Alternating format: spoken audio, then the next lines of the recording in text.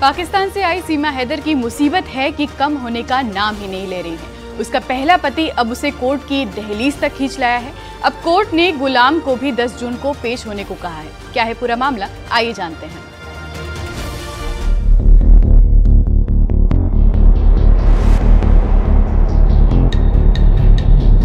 सीमा हैदर का पाकिस्तानी पति उसके खिलाफ कानूनी जंग लड़ रहा है। वो सीमा को कोर्ट तक ले आया है। गुलाम हैदर ने सीमा और सचिन मीणा पर धोखाधड़ी का केस दर्ज किया है और अब इसी मामले में सीमा पर कानूनी शिकंजा कर सकता है। सूरजपुर सेशन कोर्ट ने गुलाम हैदर को गवाही देने के लिए नोटिस जारी किया है। गुलाम हैदर को 10 जून को भारत आकर अदालत में गवाही देनी होगी। कोर्ट ने गुलाम को सारे दस्तावेज़ और सबूत पेश करने को कहा है। अगर गुलाम हैदर के आरोप साबित हो गए तो सीमा और सचिन के लिए मुश्किलें बढ़ सकती हैं। गौतम बुद्ध नगर की फैमिली कोर्ट ने सीमा हैदर, सचिन मीणा, वकील एपी सिंह, शादी कराने वाले पंडित और बारातियों को 27 मई को हाजिर होने के लिए कहा है। इसके अलावा गुलाम हैदर ने सीमा के साथ भारत आए।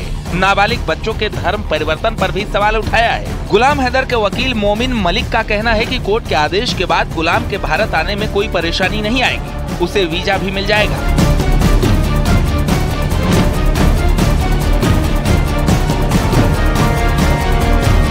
दरअसल सीमा और सचिन ने अपनी शादी की सालगिरह बड़े धूमधाम से मनाई थी। गुलाम ने अपने वकील मोमिन मलिक के ज़रिए कोर्ट में याचिका दायर कर चुनौती दी थी। पिछले महीने 15 मार्च को सीमा हैदर और सचिन ने सालगिरह मनाई थी। गौतम बुद्ध नगर के अतिरिक्त एवं जिला सत्र न्यायाधीश ने गुलाम हैदर की याचिका को स्वीकार किया था, जिसके बाद अदालत में पेश होने का आदेश सुनाया गया था।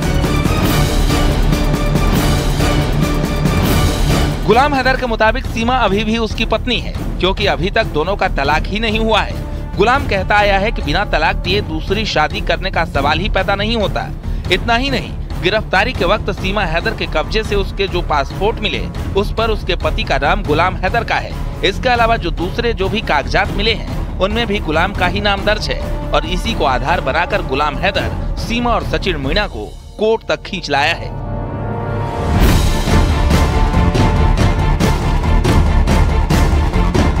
पिछले दिनों सीमा हैदर की बहन रीमा हैदर भी सामने आई थी, जिसमें उसने सीमा को ही कसूरवार माना था। रीमा का कहना था कि सीमा हैदर ने गुलाम के साथ ठीक नहीं किया। गुलाम ने सीमा और सचिन को छह करोड़ का मानहानि नोटिस भी भेजा था। साथ ही सीमा के वकील एपी सिंह पर मानहानि का केस किया है। सीमा हैदर पिछले साल अपने चार बच्चों के साथ नेपाल के रास्ते भारत में दाखिल हुई थी। इसके बाद वो ग्रेटर नोएडा ही रह रही है। लेकिन सीमा के पाकिस्तानी पति ने उसके खिलाफ मोर्चाबंदी कर दी है। अदालत में पहले सीमा और सचिन की पेशी होनी है और बाद में गुलाम हैदर को भी पाकिस्तान से भारत आना है। अभी इस केस में कई ट्विस्ट आना बाकी है। Bureau report, news eighteen.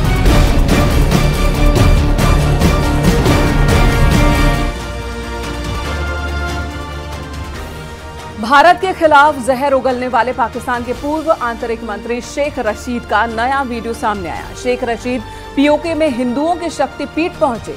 क्या शेख रशीद का हृदय परिवर्तन हो गया है? या वजह कुछ और है? देखिए ये रिपोर्ट।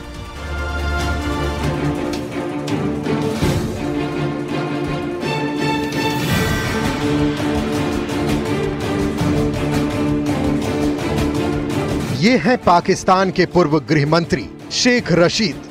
जो मीडिया का कैमरा देखते ही हिंदुस्तान का नामो निशान मिटाने का दावा करते थे।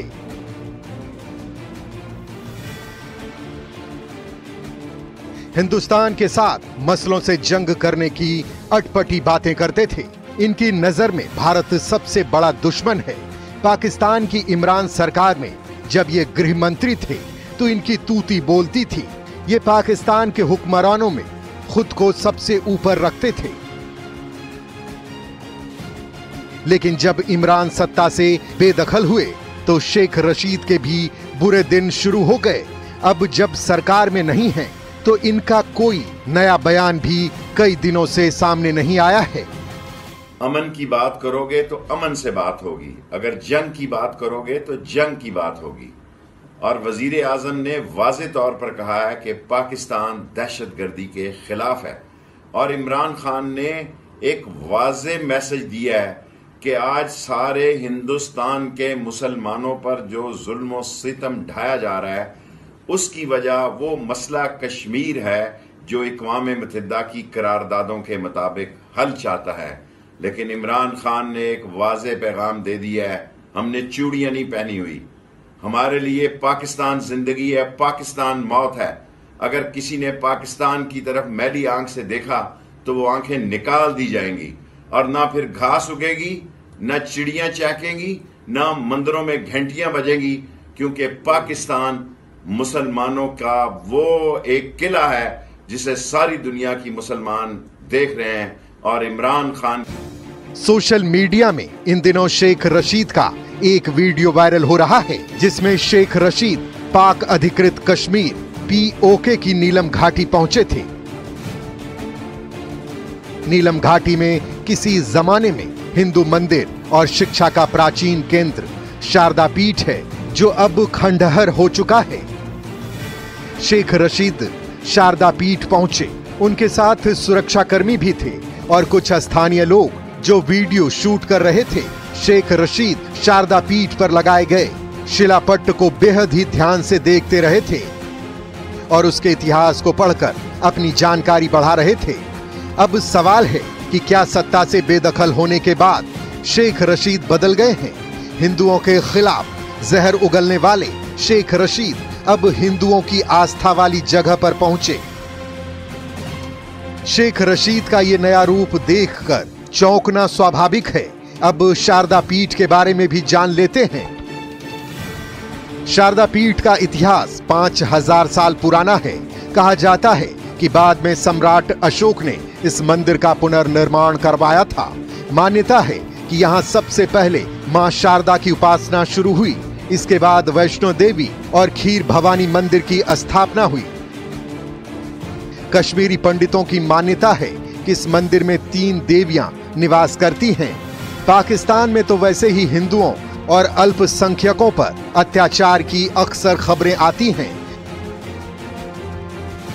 पाकिस्तान में ना जाने कितने हिंदुओं के मंदिरों को तोड़ा गया। नीलम घाटी में बने शारदा पीठ की दुर्दशा के पीछे भी पाकिस्तान का ही हाथ है। प्राकृतिक आपदा के चलते मंदिर को काफ़ी नुकसान पहुँचा।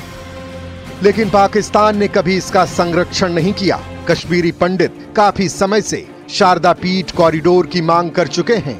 पाकिस्तान में इसकी मंजूरी भी मिल चुकी है। लेकिन पाकिस्तान के हुक्मरानों के मन में कई तरह के डर हैं, जिससे कॉरिडोर बनने का काम भी ठंडे बस्ते में पड़ा हुआ है। पाकिस्तान का एक वर्ग मानता है कि पीओके भारत के एजेंडे में शामिल है। अगर शारदा पीठ कॉरिडोर बना तो भारत पीओके में अपनी पकड़ मज़बूत कर लेगा। पाकिस्तान के कई जानकार ये आशंका भी जताते हैं। कि जिस तरह भारत ने कश्मीर में आर्टिकल 370 को हटा दिया, वैसे ही पीओके को भारत का हिस्सा न घोषित कर दे। यह मंदिर एलओसी से 10 मील की दूरी पर है। शारदा पीठ कश्मीरी पंडितों की आस्था का मुख्य केंद्र है। यह नीलम नदी के किनारे है। Bureau report, news 18